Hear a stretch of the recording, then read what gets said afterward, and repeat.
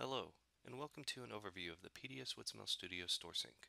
StoreSync is a flexible data synchronization tool able to move data between WITSML servers, historians, files on disk, databases, and other data sources. StoreSync answers a variety of data movement and ETL problems, such as needing to back up your entire WITSML system for disaster recovery, or getting a real-time stream of WITSML data moved across systems. Built with high availability and scalability in mind, StoreSync can be ran as a distributed application on multiple machines while assuring concurrency and statefulness. Its modular design allows for rapid design and delivery of new sources and sinks. Most of the interaction with the service is handled through the Configuration Manager UI, shown here on the left, but can be scripted using the console processor to manually start jobs. StoreSync instances are designed to be ran as Windows services, as shown here. For this demonstration, I will be running it in a console mode to show the application working through each transfer. Let's go ahead and start that up.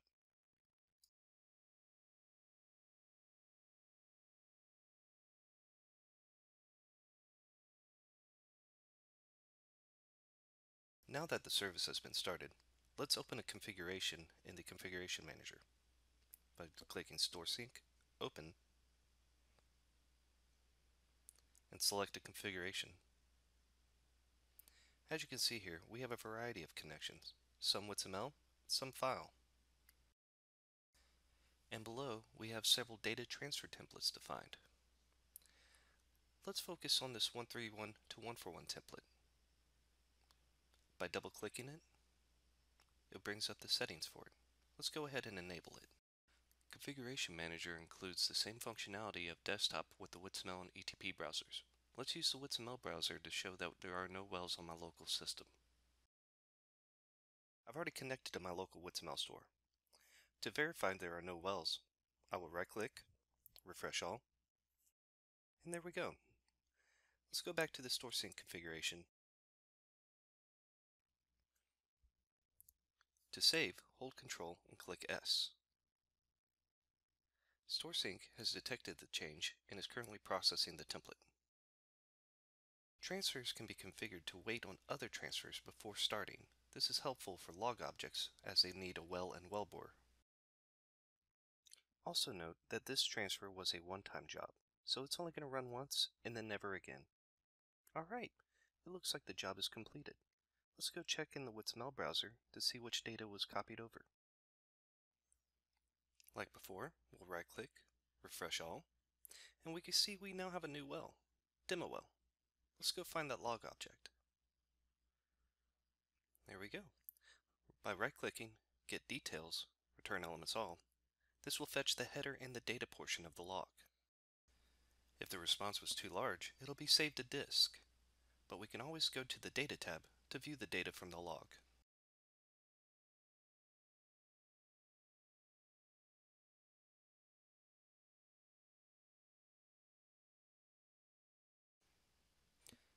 Next, let's start a continuous stream of WITSML 1 for 1 to 1 for 1. We'll go back to the StoreSync Configuration tab and select the 1 for 1 to 1 for 1 transfer. Let's enable it. Before saving, let's learn a bit more about this transfer. By going to the Transfer Settings tab, let's go down to the 1 for 1 to 1 for 1 depth log transfer. Here we can see that it will be synchronized on an interval of every 10 seconds. To get information on which log is going to be transferred, go to the Data Source tab. As you can see, from the Azure Dev Test, we'll be pulling this depth log. To confirm, we can use the Select Source URI button to bring up the hierarchy. It will automatically drill down to the currently selected URI. We can expand it to see which channels it has, as well as look at the header information to see what it has data for. For here, we have data from 0 to 131.9 feet. Let's go ahead and select this log. You can also configure which channels will be synchronized over by clicking on the Mappings tab. Here we can see this curve ACTC. We're going to be renaming to Custom ACTC, as well as we're going to be synchronizing it again to a duplicate channel.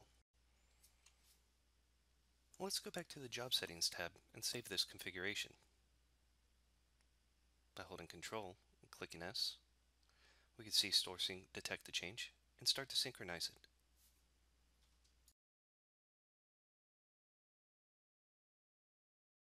Let's go back to the WITSML browser to see what was synchronized over. By right-clicking, refresh all, we see we have a new well, PDS Desktop Demo. Let's go find that depth log we selected.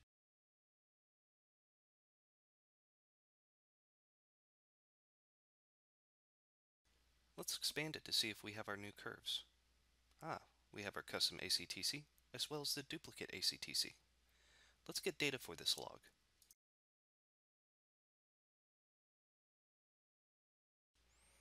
And here we can see our custom ACTC and our duplicate ACTC values match.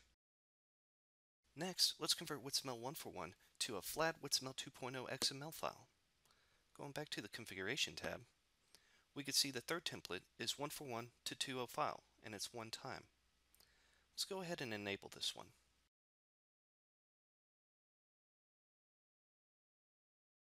Before saving, let's go to the folder it's going to be written to to make sure nothing's there. Okay, looks good.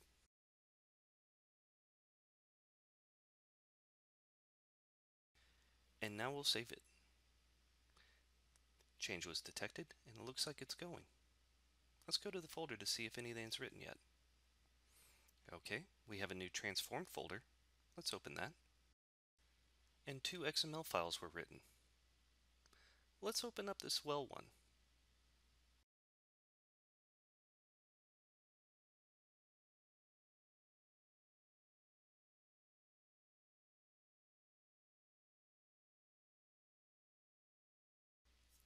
Lastly, we're going to be reading from a flat WITSML 141 file and writing to a 2.0 WITSML file. This could be helpful if you have a lot of wells backed up to disk and you want them upgraded to 2.0. Let's go back to the Configuration Manager